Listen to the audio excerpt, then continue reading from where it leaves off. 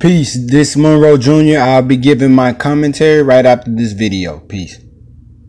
All right, y'all. We out here in Atlanta, Georgia, and today is a special day today. Uh, I'm going to be proposing to the love of my life today. Been with, been in love with her ever since. She has no idea I'm in Atlanta right now. And her mom, I flew her out. She has no idea her mom's in Atlanta too. So she gonna be super surprised when she see her family, her friends, and everybody at this event tonight. So I'm super excited about that. The way we set it up is gonna be a surprise going away party. Uh, we're gonna blindfold her, she's gonna come in, she's gonna see her family, and then I'm gonna drop down on that knee and then, you know, give that card away. So, you know, I'm excited. Surprise party turned into a proposal party.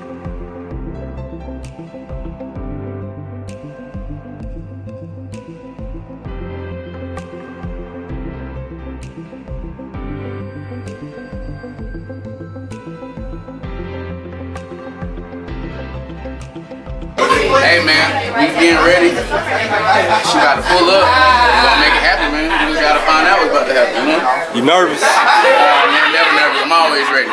Now I'm nervous, girl. Lord,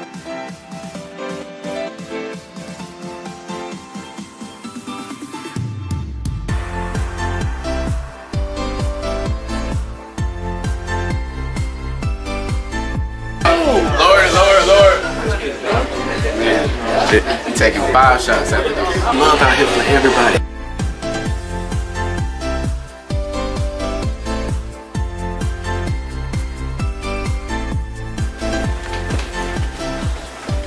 Marquesa!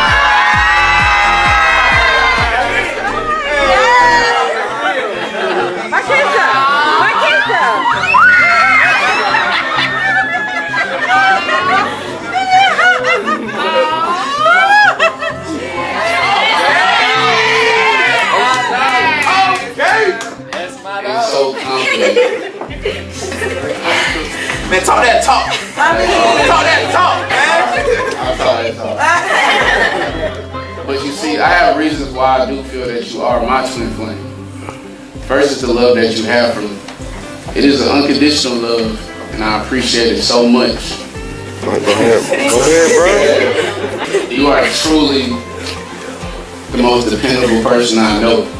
There's a definition of it down in the dictionary, a picture of you would be the example next to even though you get on my freaking nerves. Just like I know how I get on your nerves. I know at the end of the day, we're gonna be there for each other. We are mirrors of each other. We are two halves yearning to become whole again. I want to start the process to become whole again. So with that being said,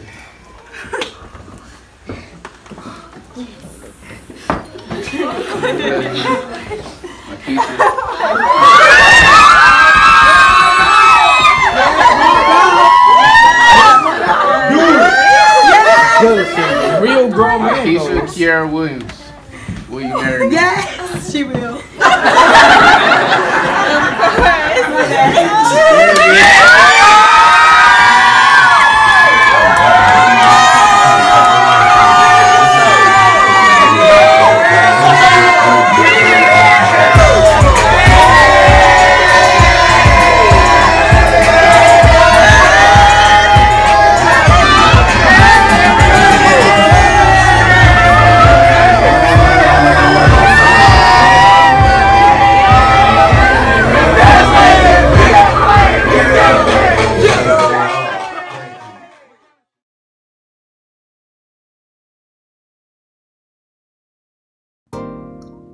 Peace, peace, peace. This your brother Monroe Jr. Yo, salute to this brother for go ahead and proposing to his soon to be hopefully wife.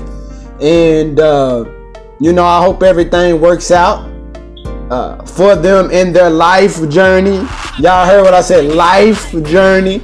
You know, marriage has its ups and downs like anything in life, but you know, the, the beauty is when you overcome those trials and you see each other like, wow, we've been through this, we've been through that, and by God's grace, we overcame it.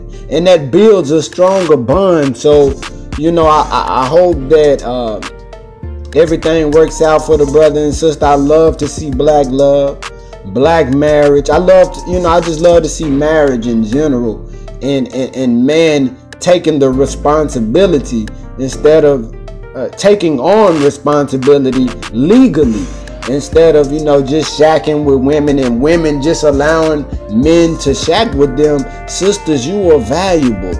There is no amount of materialism. There is no amount of wealth. There is nothing that we as men can purchase you that can out gain your value. You are so valuable that you know you are a co-creator with God. He uses your womb, as the Honorable Minister Louis Farrakhan teaches us, as the workshop or the laboratory of God. Meaning that anything that humanity needs, there will be a child that will come from the womb of a woman that will that will give rise to that need. If there's somebody, if there's a disease that is afflicting humanity, there's a child that's born to come up with the solution for that cure, right? For that disease.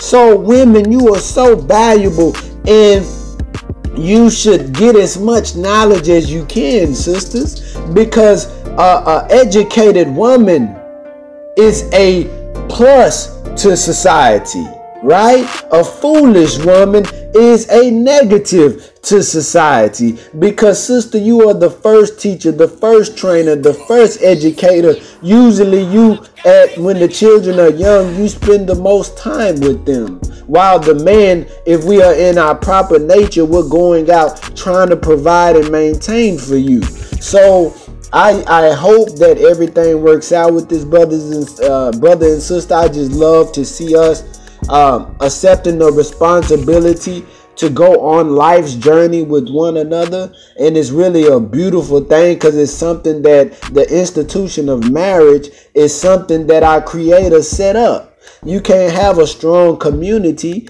a strong society without strong marriages. So that's you know eh, hey man, we're all born to be married. Now, wh- whether we grow uh, into our uh, higher God and female God nature, then that's on us. But we have to be possessors of knowledge. We have to learn about ourselves, our roles, uh, as men and women so that we can better serve one another. Meaning, we have to, wherever that's being taught, we have to go get that training. I can tell you in the Nation of Islam, men, we get taught how to uh, be protectors, how to be maintainers, how to be spiritual guides in our household. Uh, women get taught um, how to cook, how to sew. Um, how to rear their children, how to act at home and abroad. They have units.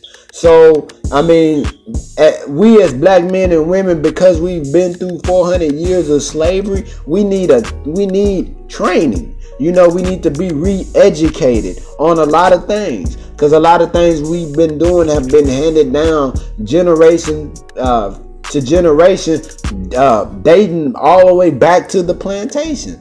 So, and that's why the divorce rate is so high in our community. I think it's like 70 some percent for black people, uh, which is not good. So we have to work to correct this, but at the same time, we can't stop getting married uh, out of fear. No, we just got to get the knowledge uh, and wisdom on how to handle things. This your brother Monroe Jr. I'm signing off. Peace.